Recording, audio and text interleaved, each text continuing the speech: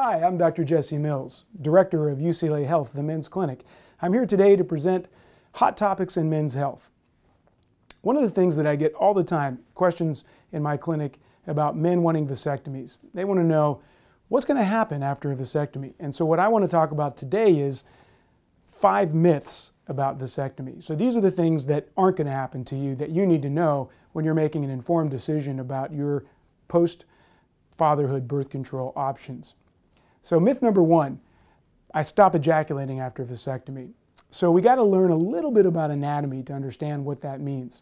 So a man's ejaculate, the fluid that comes out, the semen, is actually made up of three different organ systems fluids. Number one is the testicular fluid, that's the sperm.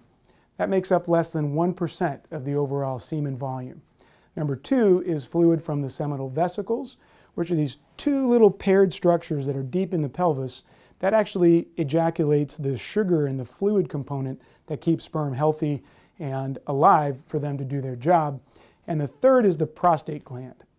When we do vasectomies, what we're doing is just cutting off the sperm tubes only. So in other words, 99.9% of what you ejaculated fluid-wise before your vasectomy, you're going to do just fine after your vasectomy. So that's the biggest myth. Myth number two is I stopped making sperm after vasectomies. Also not true. So what happens after a man gets a vasectomy to those sperm?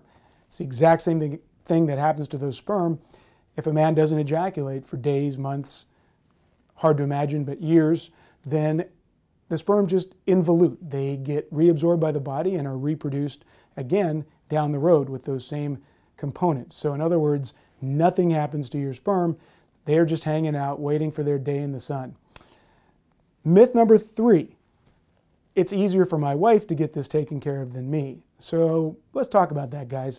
It really is time to, time to man up here because women have to go through a much more invasive procedure to get their tubes tied or to have any kind of insert placed for them to not get pregnant.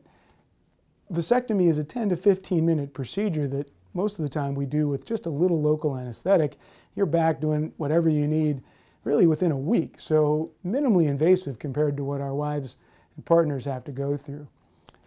Myth number four, vasectomy causes cancer. This is something that I've seen over the years. I've even had men come in asking me to reverse their vasectomy because they're worried about cancer, prostate, testicular, you name it. They've heard it, they've read it, they're worried about it. I get it. Cancer bad. Vasectomy, usually good. It turns out, we really don't know that entire story, but hundreds and hundreds of thousands of men in this country alone get vasectomies, and we're not really seeing a huge increase in any of our cancer risks. So again, this is a relative risk that we don't even have enough information to counsel men on, but does not seem to be relevant or significant enough to cause any kind of alarm about vasectomy. Myth number five, this is a big one. This is what guys are so worried about is vasectomy is going to kill my mojo. It's going to get rid of my testosterone. I won't have any interest in sex anymore. And probably the exact opposite is true. Vasectomy itself has very little to do with testosterone production. In fact, probably nothing. Testosterone is made in the testicle, but it's made and then secreted through the bloodstream, which we don't alter when we're doing a vasectomy. So all the blood vessels that were there before the vasectomy are there after the vasectomy. What it does do for most men is it actually liberates them. If you're not worried about yet another pregnancy, yet another college fund, yet another ding in your retirement, then you can actually relax, enjoy sex a little bit more. And a lot of men talk about the fact that after their vasectomy, they're even happier and more liberated and maybe even have a higher libido. So don't worry about that. Totally unrelated. If a vasectomy is the right procedure for you, go ahead and schedule it.